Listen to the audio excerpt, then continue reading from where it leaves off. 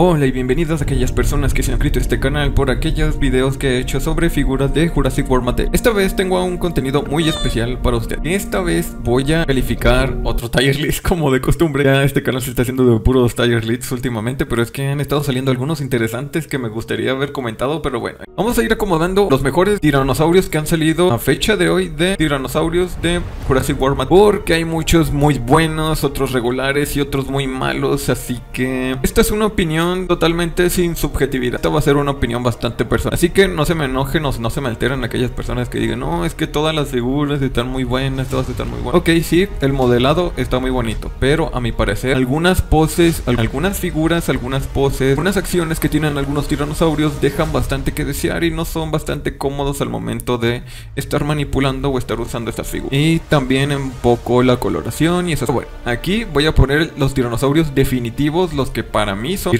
repito una vez más los que para mí son las mejores figuras de tiranosaurio que ha hecho Jurassic World Mattel. Y las siguientes que son buenas, regulares, que son bastante pues regulares y terribles. Las figuras más que no me han gustado personalmente de un tiranosaurio que ha hecho Mattel hasta la... Pero bueno, Comencemos con el primero que está, es una figura bastante escasa que yo casi no he visto en tiendas ni tampoco en ventas, ya que tiene una figura de un mercenario dentro de la película de Jurassic World Fallen Kingdom, creo que fue de los primeros sets que lograron sacar. Junto con otra cosa que aquí no distingo muy bien, voy a poner un video en pantalla de cómo es la figura esta especialmente para que ustedes vean a detalle y juzguen especialmente. Así que como figura base, el tiranosaurio es la figura de mandíbulas extremas, la primera figura que sacó Jurassic World Mattel en su línea Legacy Collection, junto donde lanzaron al Spinosaurus. Personalmente pienso que este es uno de los mejores de lados de un tiranosaurio con las mejores articulaciones también. Así que creo que este es el mismo. No hay mucha variedad, ni coloraciones, ni movilidad. Simplemente este trae un accesorio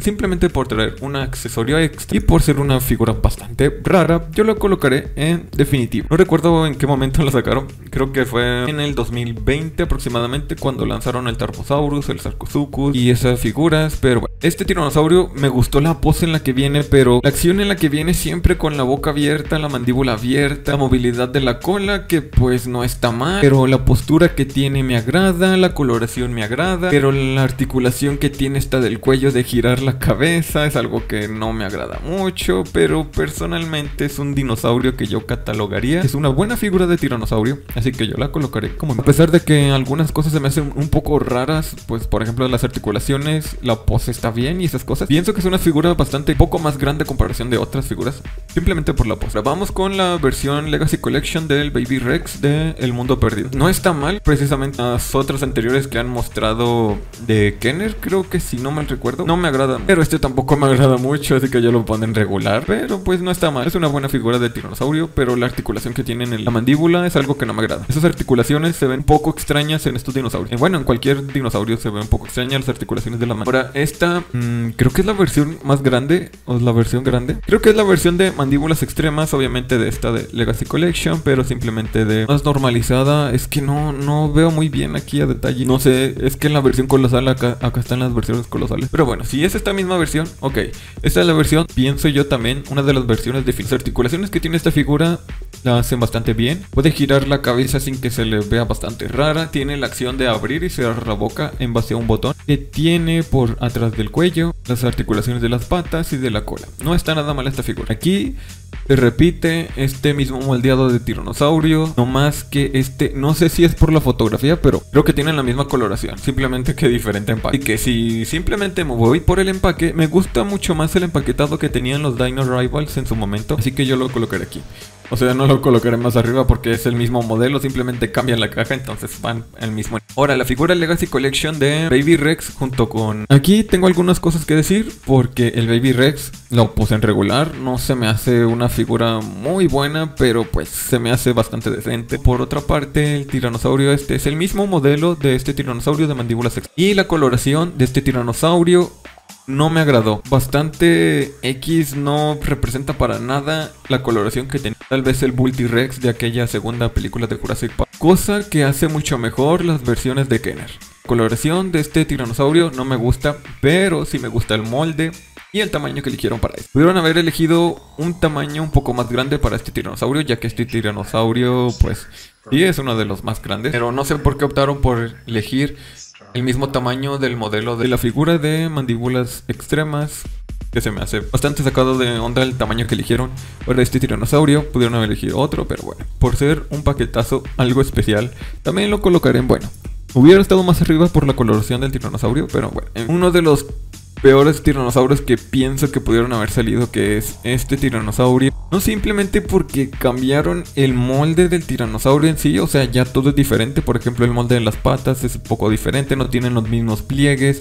El molde del cráneo, que es algo muy importante también para estas figuras, también lo cambiaron. La pose, todo en este dinosaurio se ve muy mal, la coloración. Hasta el mismo plástico se me hace que bajaron un poco la calidad y es una figura que yo nunca la vi interesante ni por obtener ni nada por el estilo. Entonces creo que sí es una de esas piezas que yo lo colocaría pues obviamente aquí a mero abajo. Es obviamente mi opinión. Si a ti te parece una buena figura, pues ok, respeto totalmente tu opinión. Es totalmente válido. La mayoría de las figuras están muy bien hechas, pero pues en mi opinión pienso que está totalmente un bajón de calidad. La coloración me gusta, sí, pero la articulación se me hace un poco incómoda. Yo lo pondré en El tamaño sí lo hicieron bastante grande, sí. Aceptaron el tamaño, pero la articulación se me hace un poco incómoda. Y la coloración también. El molde también del cráneo también lo es una variante diferente a lo que hemos visto por ejemplo en estas figuras. Ahora, este otro dinosaurio, mm, definitivamente también lo pondré aquí arriba. Lo único que tal vez no me gusta tanto de estas figuras, eh, todas son la misma, del mismo modelado, nomás que diferentes empaquetados, diferente color y así. Es que el tamaño se me hace muy pequeño y es una opción más económica considerar de las versiones más elaboradas que hay de otros tiranosaurios, como este por ejemplo, o estos de acá están un poco más grandes a comparación de estos tiranosaurios. Pero ahora sigamos con este otro paquete que fue también muy extraño de encontrar de Battle Damage. Un tiranosaurio que tenía una rasgadura por un lado y este que era un monolofosaurus. Yo lo estuve buscando y hasta la fecha no lo tengo todavía en mi colección es Ninguna de sus variantes he conseguido. Pero este paquetazo pues yo lo pondré en bueno. Es el mismo modelado del tiranosaurio. Este es simplemente una variante de color. Ahí la opción del monolofosaurus. Estoy considerando tal vez en ponerlo arriba porque el monolofosaurus se me hace cualquier cosa mejor figura que el Baby Rex. Pero el Baby Rex tiene más peso por ser un protagonista, un personaje secundario dentro de la saga de Parque Jurásico 2. Pero no sé, pues. Y que ahora vamos con la versión Legacy Collection de Mandíbulas Extremas. Obviamente lo pondré aquí arriba, una pieza totalmente definitiva del tiranosaurio. Eh, a comparación de estas, pues simplemente también cambia el empaquetado, pero la figura es la misma. Tiene las mismas movilidades. Ahora la versión Battle Damage de un tiranosaurio colosal. No está mal, yo me iría personalmente, pues me iría en bueno. Estas figuras colosales me llamaban la atención porque entre más grande sea una figura, mejor detalle le dan a la... Y como esta figura está bastante grande, creo que de largo mide casi el metro de largo, o creo que un poco menos, unos 70, 70, 80 centímetros de largo, sí está bastante grande esta figura. Fue bastante costosa, pero yo no me pude conseguir de una de ellas, así que con la primera figura que lanzó Jurassic World Mattel, eh, fue esta, el tiranosaurio colosal el primero de todos, creo. Este también lo pondré aquí menos arriba. O sea, me hace una muy buena figura. Este y este son el mismo modelo. El mismo modelo, simplemente que este tiene una variante de que nomás le pintaron aquí un símbolo de que tuvo una herida o alguna batalla. Por eso el logo de Damage. Una segunda versión otra vez de un tiranosaurio colosal. Damage. Creo que sí.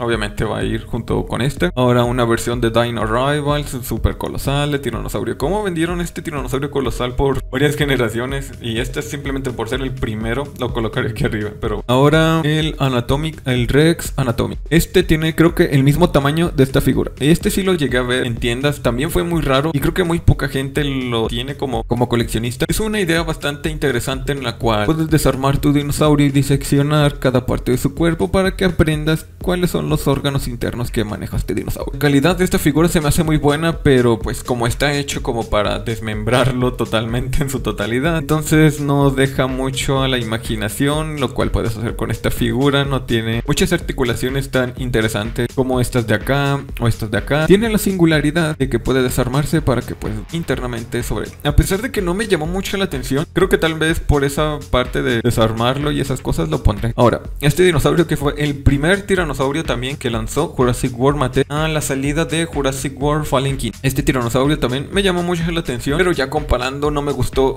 la pose, pero el modelado sí me gustó bastante. Pero la pose y algunas movilidades que tenía este no me agradaron tanto. La coloración y el molde sí, pero esas cosas no tanto, así que me agradó mucho más que el molde, por ejemplo, de la cabeza, el cuerpo y las patas, fueran muy parecidos a lo que vimos al tiranosaurio Rex de Jurassic World Fallen King.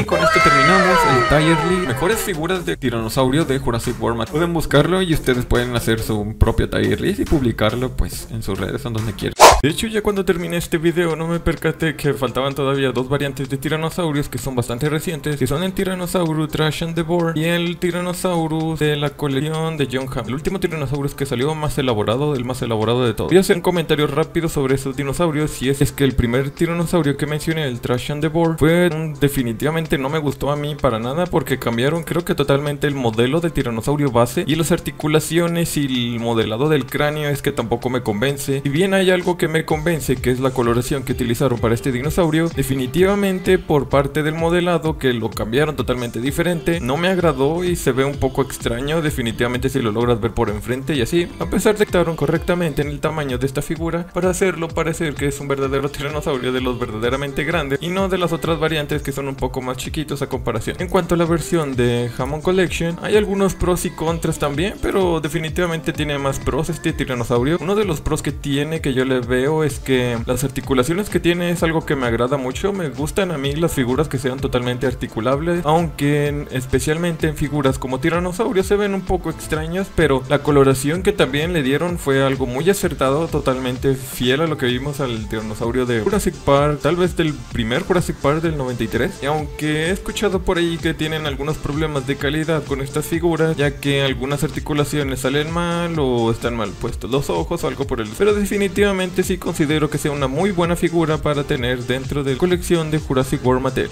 Pero bueno, esta fue para mí la mía, la definitiva. De tantas figuras de tiranosaurio, estas son para mí las mejores y las peores de todas. Pero bueno, con esto terminamos. He sido un pony verdoso y chido chido, mis vatos locos.